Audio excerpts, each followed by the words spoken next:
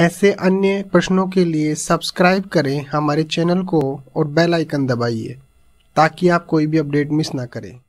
प्रश्न, बोर्नो, उत्तर पुनर्जागरण कालीन यह वैज्ञानिक इटालियन खगोलशास्त्री था।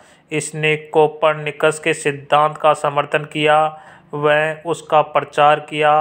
चर्च ने इसे ज़िंदा जला देने के आदेश दिए बोर्नो सात वर्ष तक अपने देश से बाहर रहा। जब वह इटली पहुँचा तो उसे जला दिया गया।